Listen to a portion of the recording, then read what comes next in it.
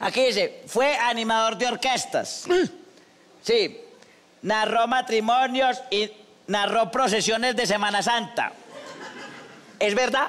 Sí, claro. ¿Cómo uno narra una procesión de... Hágame el favor.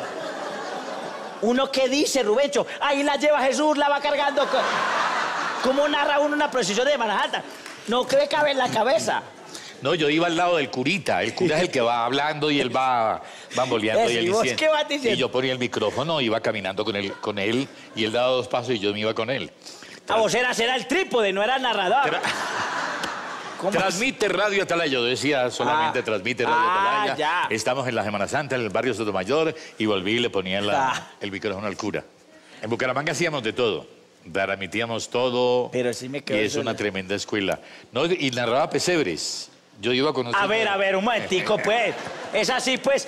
¡Ya llegaron, llegaron los reyes! ¡Llegaron los reyes! Sí, señores, vea, la ovejita se metió al pesebre, vea. ¿Cómo narraba uno un pesebre? Más ¿Cómo- o menos. El que narraba muy bien era don Néstor Páez, que me llevaba y yo aprendía. Pero ¿cómo narraba uno un Él se pesebre? ponía en un tono muy reverencial. Ah, ok, Al ya. fondo ven la estrella que va anunciando el camino de los tres reyes magos que vienen de lejos y están anunciando la llegada del Mesías. Y él empezaba con su prosa muy bonita además. Don Néstor, un homenaje para él. Allá narramos de todo, hasta un matrimonio lo narré una vez. El matrimonio de Lina Mar. O sea, ha narrado de todo. Un matrimonio. Le dijo, señora, atención, está que le dice que sí. Está que le dice que sí. Vamos a ver, vamos a ver. Sí, señor, le acaba de meter el dedo en el anillo, sí, se... Más o menos. Era el matrimonio de Lina María García Ogliastri, me acuerdo mucho la reina.